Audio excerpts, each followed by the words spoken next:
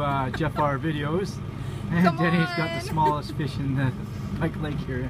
Alright, thanks for tuning in and once again, subscribe to Jeffar videos.